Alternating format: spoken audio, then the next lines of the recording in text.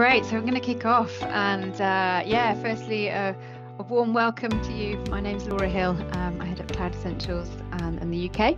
And uh, yeah, this is the, the third now in a series of webinars around Microsoft uh, and compliance designed to sort of help you tap into capabilities um, that Microsoft has to offer in in 365 around compliance and uh, yeah, reducing your risk and really improving the way that you manage uh, the life cycle of content as it as it throws through um, through Microsoft 365. So um, at Cloud Essentials, our I suppose our passion in all of this is is facilitating that continuous journey of adoption in Microsoft 365 and helping our clients get to a point where they've got a, a very sustainable approach to how they're playing out compliance within um, Microsoft 365 ecosystem.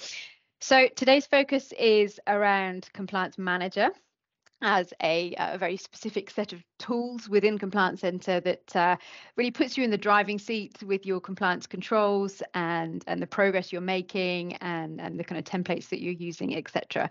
Um, but our I suppose our experience and, and where we are coming from with this webinar is that Compliance Manager is often very overlooked in our experience and it can be a real sort of catalyst to trigger off uh, accelerations in your compliance journey and actually keep that momentum going. So it's uh, it's a powerful tool and you've probably got it already if you are on an enterprise SKU with your Microsoft 365 licensing. So our aim here today is to get you a bit more familiar and confident with the functionality so that you can start actually getting some some value from it so the format for today, as as with our our series, is to uh, yeah give you that familiarization by discussing the the capability, and woven into that will be some demonstrations of of, of the features and then an opportunity to ask questions um, and yeah d- debate some of the issues maybe around some of the features.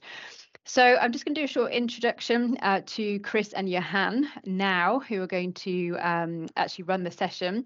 Um, uh, chris champions our, our, our, governance and our compliance solutions here at Cloud Essentials, and he comes from an auditing background. So you get the benefit of, of that kind of perspective as he works closely with Johan, who is going to um, navigate you through some of the, the, the, demos today as the head of our, our cloud and migration. And he spends a lot of time with our clients actually sort of on the ground deploying Microsoft 365 compliance and security features.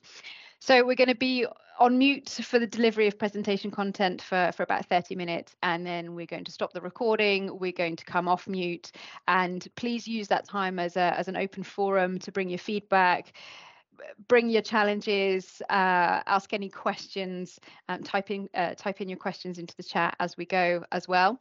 Um, we've got a nice range of, of industries and, and, and roles represented here. Um, so please use that time to, to kind of engage in conversation with, with us and, and others after the presentation.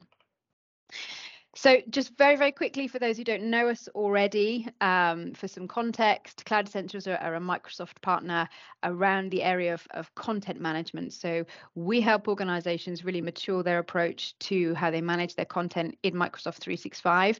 And a big part of that is, is reducing your, your risk profile of your content, um, but also you know helping migrate content into microsoft 365 how to um, kind of manage it cost effectively over time and ultimately how to sort of open up the the value of the content and and the ways you're collaborating in in microsoft 365 so that you can surface content um, to your business advantage.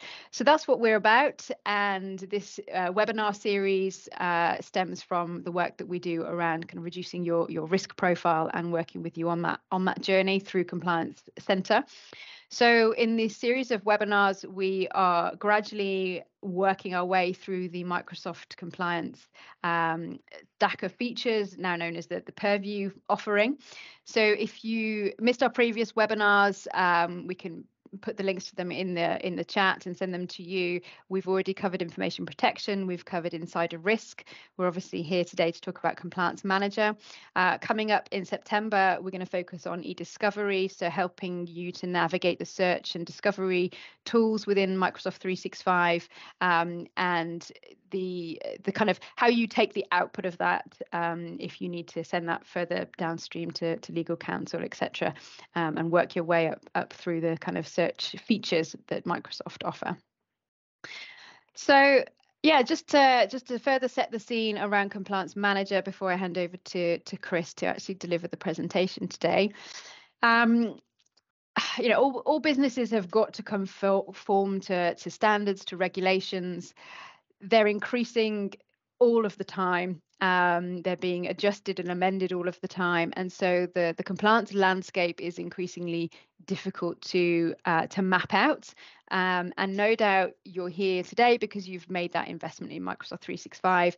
You know, content is growing, collaboration is growing, and with that comes these additional challenges of of maintaining compliance across the environment. So, you know, how do how do you comply with the standards um, that you need to across Microsoft 365? You know, how do you find those gaps? Um, and when new regulations come in or amendments come in, um, you know, have you got the confidence to um, that, that, you're covered or do you need to do something new? Do you need to do something different? And how do you demonstrate your stance? Um, you know how do you actually prove that you are compliant or that you are making proactive progress um, that regulators demand or maybe maybe contractors demand or clients demand of you? And you know how do you prioritize what to tackle first um, in terms of, of new requirements and, and new features coming all of the time um, from the technology as well.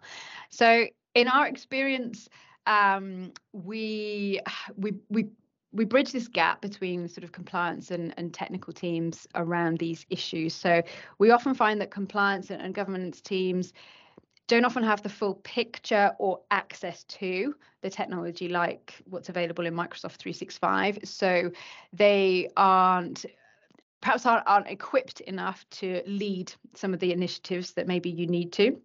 Um, in in the Microsoft environment to actually make improvements in in how you approach compliance. But equally, it's not in the remit of the technical teams and those actually responsible for the day-to-day running of Microsoft 365 to be making those decisions on how to translate your compliance requirements into the deployment and actually pushing the buttons on on the controls within Microsoft 365. So the journey can get a bit a bit stuck. Um, so we're really pleased today that we've got this sort of nice balance of of compliance and technical roles represented here because that's very much what we're aiming for. Uh, you know, we really want to help compliance teams to get started quickly um, by showing you the uh, the sort of art of the possible, I suppose, within Microsoft 365 around compliance. Um, but also, we want IT teams to understand the the power in the features so that they can work a bit more constructively with with counterparts in in compliance and governance to um, kind of prioritize uh, feature deployment um, from from a much more technical side. So yeah microsoft have invest, invested heavily in in in what's now called the purview suite of, of compliance tools. And yeah as i said before we, we think the compliance manager element is is often not well understood or used but the compliance scoring and, and the assessments can be a bit of a game changer uh, and a bit of breakthrough in in the kind of compliance journey and making progress.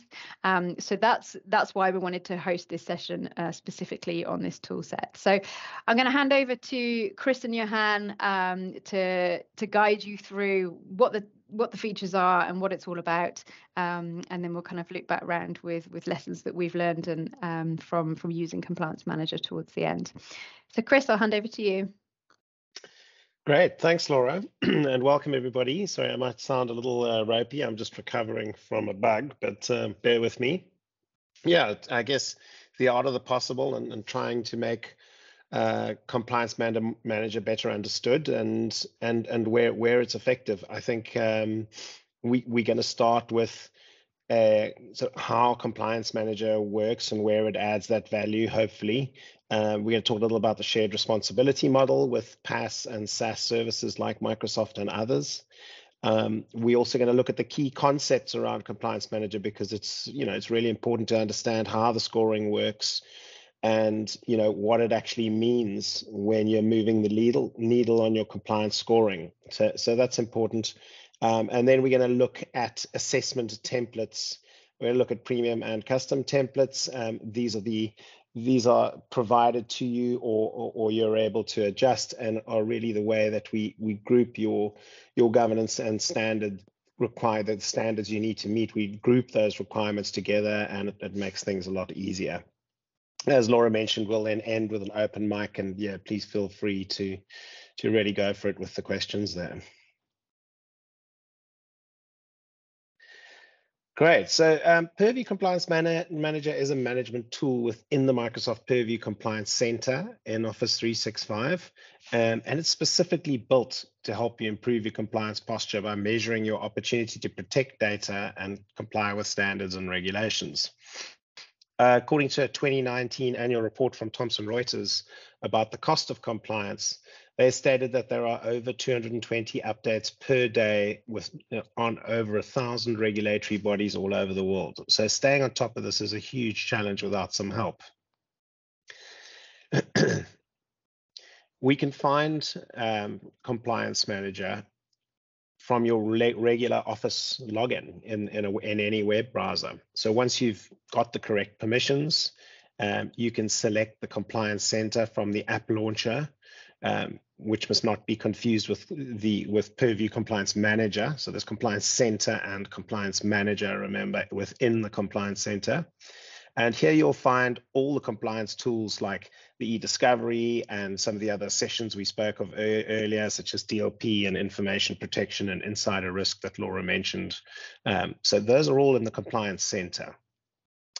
The compliance manager blade can be found near the top and allows the organization to manage and measure that, that compliance journey and to stay on top of regulatory obligations as they change. This, it's usually we find replacing a spreadsheet within the compliance department, which is a fairly a fairly common way um, that we see these things being managed.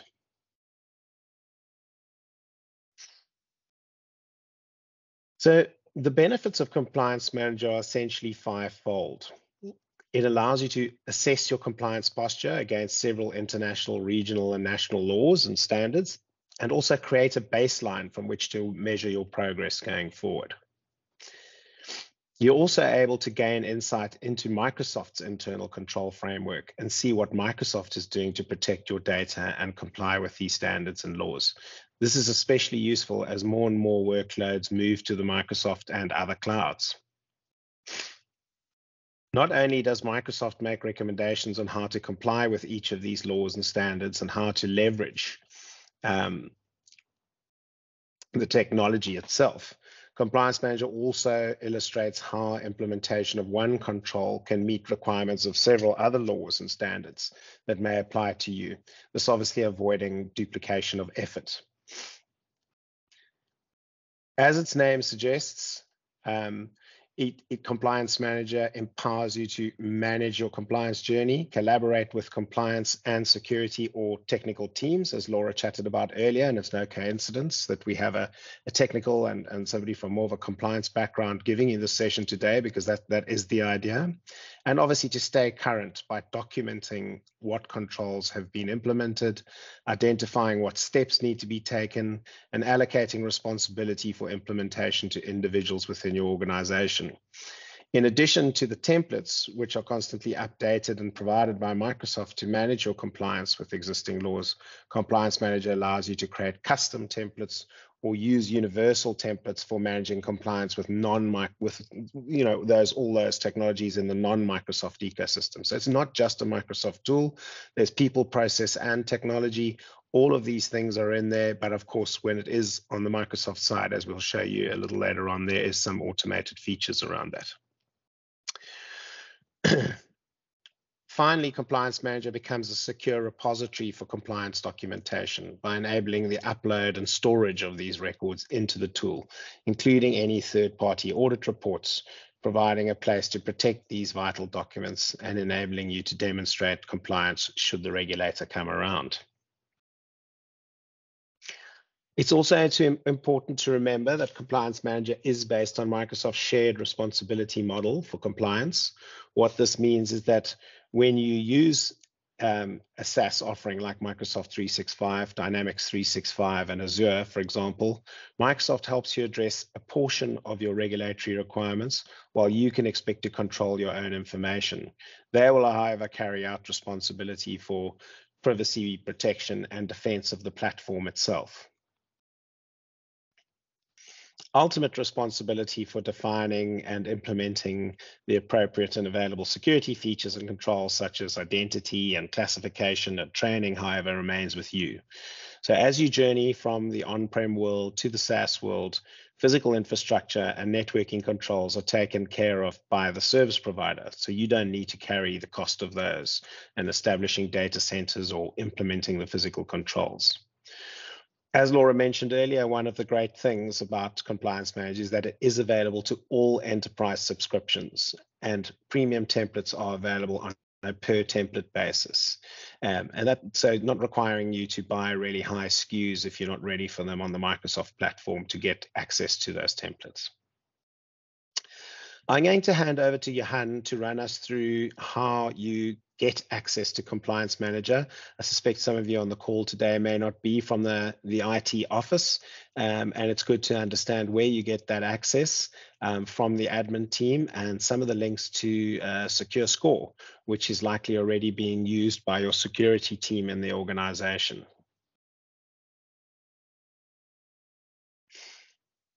Thanks, Chris. so Microsoft Purview Compliance Center as a built-in permission role group administration area. Your tenant administrators can manage all Microsoft Purview compliance permissions and role groups assignments using Azure Active Directory, but also for ease of use, they can also manage it directly within Compliance Purview Center. You can see a list of all compliance-specific role groups that should be assigned to the appropriate team members within your organization. But by filtering on the compliance manager specific role groups, you see four dedicated roles, role groups that can be assigned. Just waiting for you to update. There you go. The compliance manager administrators role group has the most role permissions associated and should be typically assigned to the team member that will be responsible for configuring compliance manager, including the assessment templates. Then moving down, the role group with the least permission is the compliance manager reader.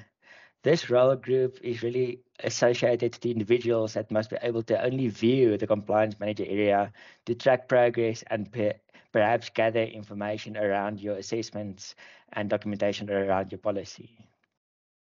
Um, that in summary wraps up your permissions and structure around Microsoft Purview Compliance Manager. So Chris, back to you. Oh, sorry.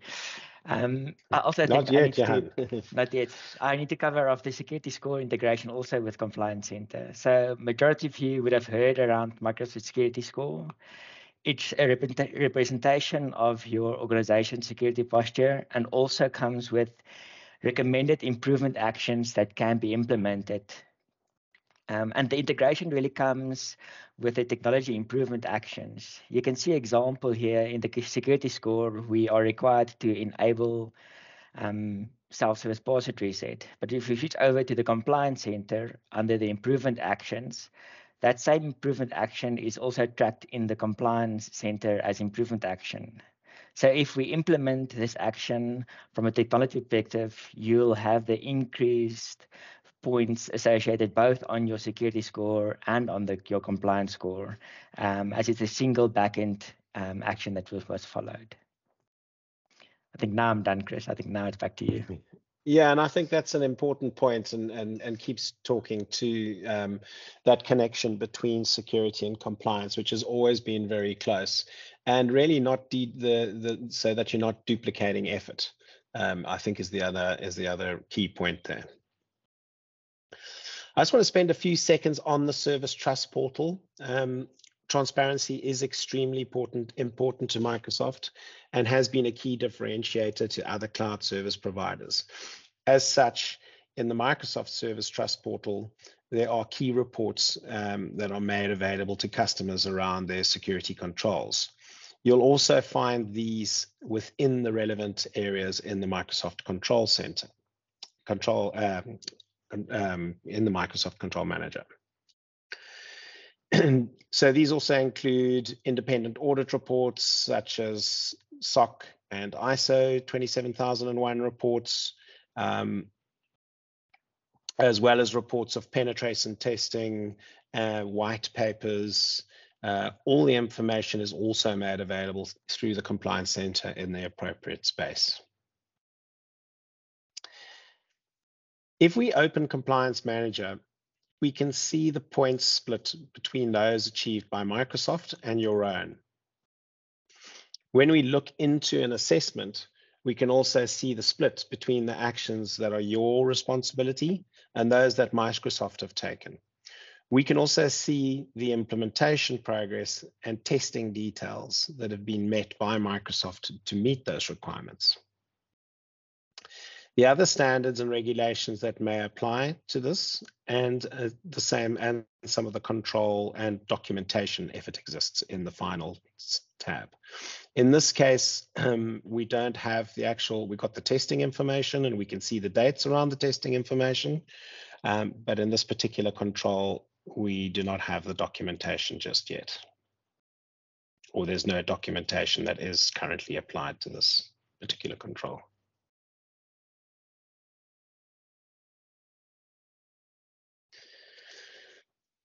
So before we get started with the assessments themselves, um, and those that are available to you in the Compliance Manager, let's take a quick look at some of the core, some of the key concepts that make up an assessment. Actions are the building blocks of assessments. They can be technical or non-technical, and they are either managed by Microsoft in terms of their shared responsibility model or managed by you, um, the customer or in some cases managed by both of you.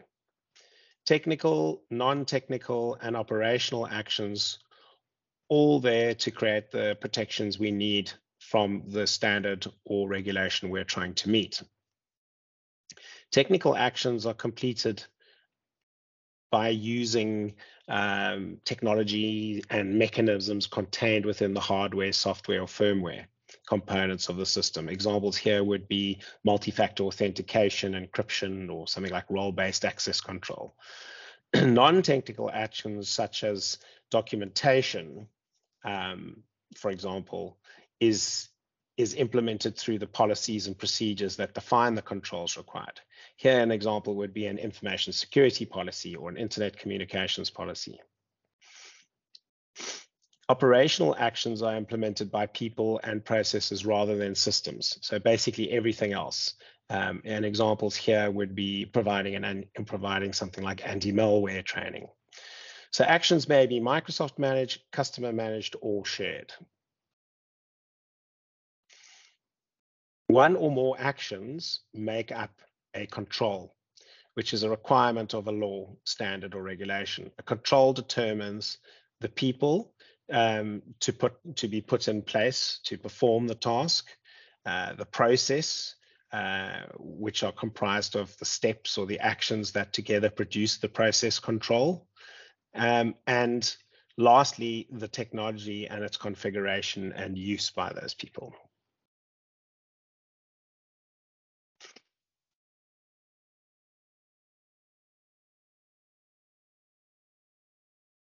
Controls are grouped into control families. Um, and these families are in line with most of those laws and standards that are mapped in Compliance Manager. In this case, we're looking at a control family and controls for the EU GDPR, for example. Assessments are made up of several controls from the regulations, laws, or standards. As you complete an improvement action within an assessment, your score increases and you improve your compliance with that particular standard or law. Assessment templates enable quick creation of assessments, and there are over 300 uh, laws and standards available.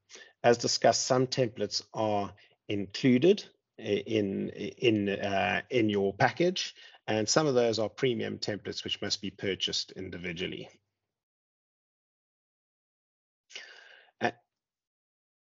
So the assessment template is made up of the control families, in-scope solutions, and the score received, but more on the scoring in a minute.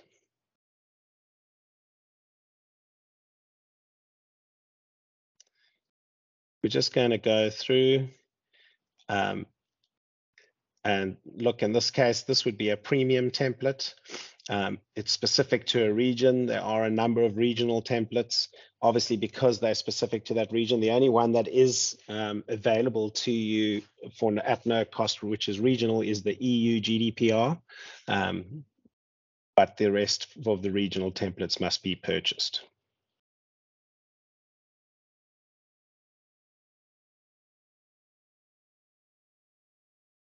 All right. So when creating assessments, they need to be assigned to a group or they will just remain in the default group. Some organizations actually prefer to leave it in the default group um, and groups can be configured uh, to be regional or by department, etc. Once groups are created, you'll be able to filter the dashboard by group to get a more granular view of your compliance posture and assess your scoring on a group basis.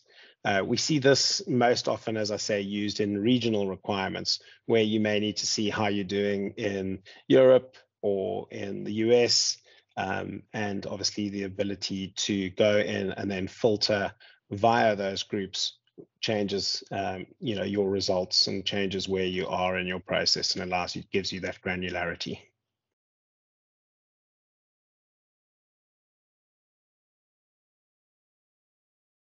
So just quickly on some just take a quick look at the scoring um, in compliance manager because this is ultimately what what what your baseline is made up of. Scores for scoring purposes actions are classified as mandatory discretionary uh, in combination with preventative, detective, and corrective. Each action is allocated a score based on the potential risk involved. Mandatory actions cannot be excluded or bypassed. So this is an example here would be turning on or scanning downloaded files and attachments for virus detection. Um, discretionary actions uh, rely on users to adhere to the organization's policy. And examples here would be conducting exit interviews on termination.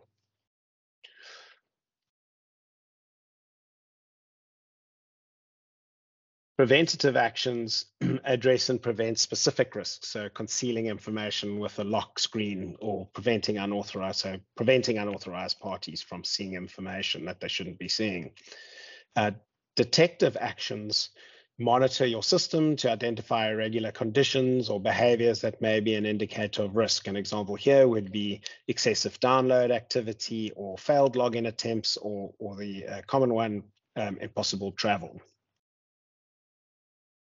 Corrective actions aim to mitigate or lessen the adverse effects of a security incident and to restore your system to an operational state like remediating vulnerabilities as an example. Scoring will also be affected by whether the control is technical um, or operational.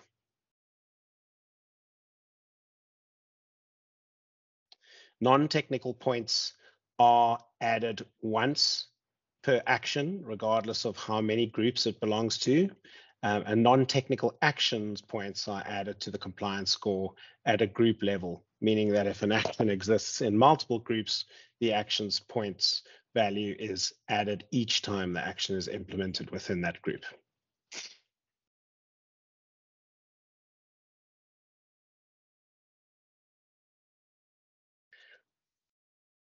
Also bear in mind that um, all actions must be implemented and must have passed um, test status for that scoring to be achieved.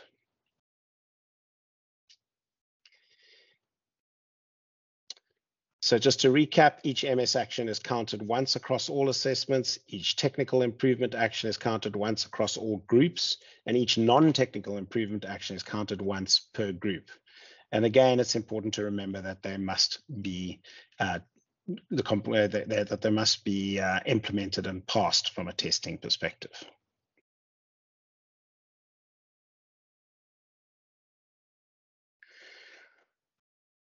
So even if you've never been into Compliance Manager or set anything up, the Microsoft default uh, data protection baseline is already collecting signals from your Microsoft 365 solutions um, in the environment and the improvement actions you need to prioritize and the points you have accumulated are already there. The default data protection baseline is a great place to start your journey as it draws elements from primary NIST CSF, um, ISO, uh, FedRAMP, and the EU GDPR. In particular, the NIST CSF correlates well to much of what we find in the Microsoft Security and Compliance Center. It calls for the actions that create resilience, and Compliance Manager is certainly a great place to start formalizing that process. Right, Johan, I think I'm going to be handing back over to you to take us um, through some of the actions and controls. Thanks, Chris.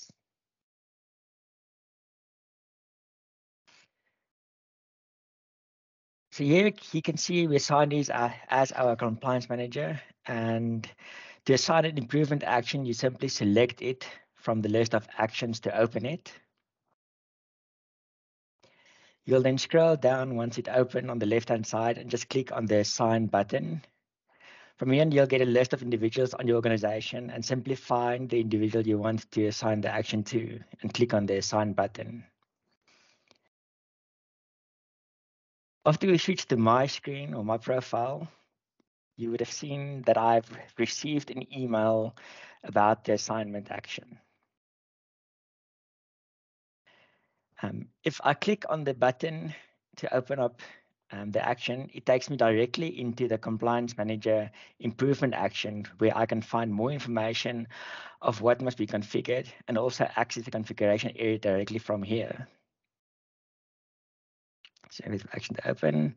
So there's all the information around the improvement action. If I click on launch now, I go directly into the configuration area within your tenant. This improvement action requires me to set up an anti-phishing policy for our organization. So let's just quickly go ahead and finish the configuration.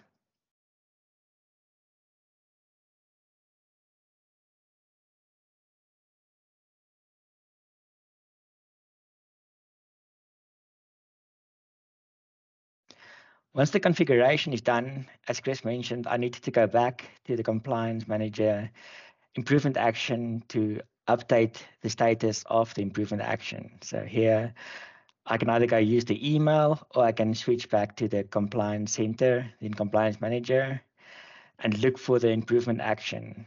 You have the ability then to filter on assigned to um, and also other criteria to find the improvement action that's, that's a, a task assigned to yourself. So if you open it, you see on the left-hand side, I'll need to click on implementation details, change the status, add information around the implementation, also select the implementation date of the improvement action. Um, as Chris mentioned, you also need to complete testing before you would actually complete the implementation action. And for testing, there are two options. As you'd see on this example, um, if I scroll down on the left-hand side, this is a manual assign manual testing. So it means a technical resource would need to go through and actually complete testing to validate the configuration and then update the relevant information about the testing to prove that the action was completed. There are um, improvement actions available that do have automated testing um, assigned to them. An example of that is the self-service password reset improvement action that Chris assigned to me earlier today. If you open that, you'll see under testing, the action is automatic. And that means Microsoft will in the back end assess the configuration of the setting in your tenant and update the status of the testing once every 24 hours. So once testing is passed and, and, and you implement the action, you would then get the score associated to your compliance assessment and template. Back to you, Chris. Great, thanks, Jan. So we're going to just talk briefly about creating customer custom templates, adjusting um, and extending templates. We'll also talk a little bit about updating. As we mentioned earlier, Microsoft is continually updating the included and premium templates as the regulations change. If we go into our assessment title, we can see the pending updates notification by selecting uh, by, by, selecting the assessment we want to update. Um, we have the option to review the details of the update. Um, we can also choose to update the template or download it as a new template um, or download the current template before we update. That's obviously in case you you worried about the changes that that that will come into to the process that you're already in.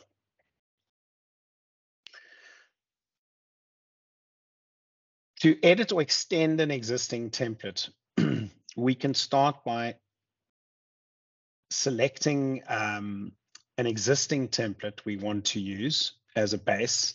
Um, we can check the details and, and even go into the articles that that make up the regulation and template. So, you know, there may be a number of controls in this template which are common uh, to the new or custom regulation that I want to build a compliance template for.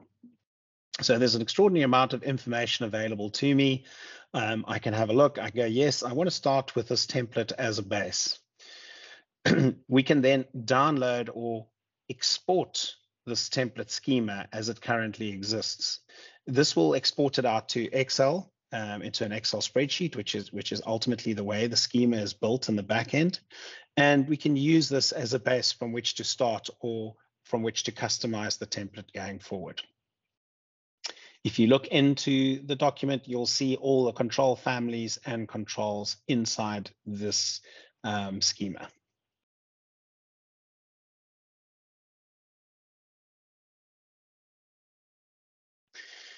To create a new template, we can choose create a new template, obviously, and uh, do this from scratch using a base schema, or again, start with an existing template that may, may contain those controls that I already want in place.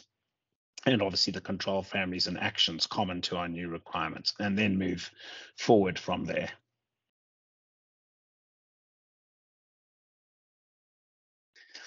Right, so I think that was a, a quick overview of Compliance Manager. Hopefully we've given you a taste of, of what can be achieved. I think for us, where we've seen it to be, you know, hugely useful is um, is in that collaboration space between IT and compliance, and also putting the information at the fingertips. You'll have noticed in Compliance Manager and in Security Center, there are links to more information. So it's a great way for non-technical groups to you know educate themselves on what's available within the technology and it's a great way then to collaborate with the technical team and also you know get the get the benefit of what the technical team may have already done on the security side of things so with that, I'm going to hand over to you, um, Laura, before I think we're going to go to questions and I think you're going to top and tail us. Yeah, sure. Yeah, so um, yeah, as Chris was saying, I suppose what what we're hoping to to convey in this session is that you know here's a piece of functionality that you can really use to decrease your risk profile as, as with the whole purview offering but um, using compliance manager is uh, a great way to to kind of also influence your your process and and how you're orientating people around your compliance journey with Microsoft 365 um, and is a, a really useful tool to to, to help you get more value from the money that you are investing in Microsoft 365 in terms of what's available to you. So, yeah, use the tool um, to, to collaborate and join up that conversation between IT and, and, and compliance roles. Use it to, to accelerate your journey. Use it to, to build your business case, perhaps for, for higher license SKUs if you if you know that that is what the organization needs, especially as it, it goes on a, a rapid growth curve as many organizations are with Microsoft 365 in terms of the sheer volume of content growing in it, the sheer volume of collaboration happening around it. Um, you know, use it to to to demonstrate to be part of of how you're proactively um, putting together your audit responses um, and and kind of defending your your stance and and how you're being proactive. And yeah use it to to keep updated to to move from maybe manual maybe quite siloed processes and and places for managing your compliance um, audits and scoring and tap into those those templates just moves on to the next slide, to Chris. Um, just wanted to, um, uh, before we open up the floor, just to say that um, Cloud Essentials, we do offer advisory around Compliance Center and Compliance Manager. Our menu of, of compliance solutions um, is very varied. It ranges from some what can be quite one-off kind of workshops, especially some of the ones that um, maybe Microsoft might subsidize for you um, for us to deliver, to very flexible, very tailored services, and no one size fits all. Every client is at a completely different point on their compliance journey in Microsoft 365 and has a completely different level of resourcing around it. So, as we've sort of evolved our solutions in line with our clients as they grow, um, a big shift for us now is is playing a bit more of a, a, kind of specialist, maybe outsourced advisory role um, as an extension of your team uh, to help kind of keep momentum going, or maybe just to ramp up resourcing for times when you need to um, get a bit more active within Compliance Center and with Compliance Manager. So, yeah, maybe you already have a, a rhythm of, um, of of kind of uh, sessions where where IT and compliance teams get together to talk about Microsoft 365.